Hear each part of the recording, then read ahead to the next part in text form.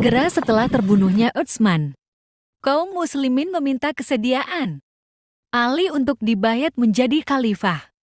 Mereka beranggapan bahwa kecuali Ali, tidak ada lagi orang yang patut menduduki kursi khalifah setelah Utsman.